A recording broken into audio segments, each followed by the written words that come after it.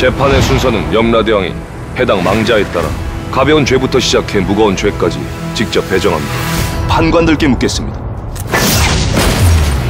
피고는 자신과 일면식도 없는 여덟 명의 목숨을 구해내느라 동료의 목숨을 구하지 못했습니다. 그렇다면 이 둘의 목숨의 무게는 어떻게 다른지 답변해 주시기 바랍니다.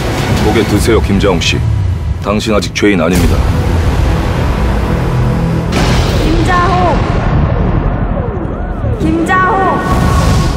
죄인이야? 살인지어 화탕용도 정의로운 망자라면서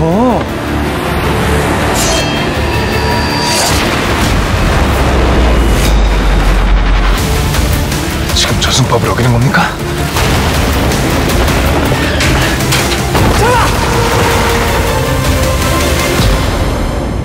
보조 변호사 월직차사 덕준 인사 올리겠습니다. 영광입니다, 김정욱 씨. 귀인이에요, 귀인! 저승의 죄는 모두 일곱 가지로 구성되어 있어요. 얘가 이번 지역의 아저씨 기소 내용을 쭉 살펴보고 있는 거야 스캔하고 있는 거라고 너랑 나랑 연결되어 있다는 거 잊지 말고. 월직차사 이덕춘, 최후 변론을 시작하겠습니다.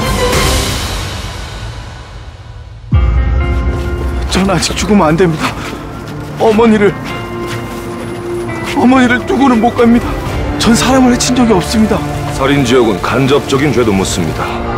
피고는 진술을 계속 거부하는 것이죠. 부탁드립니다. 빨리 잡아요! 내가 갈게요. 마지막 재판까지.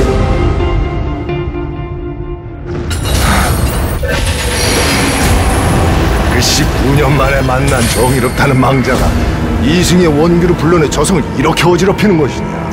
염라대왕을 만나러 왔다. 설련 지역의 최종 판결을 시작한다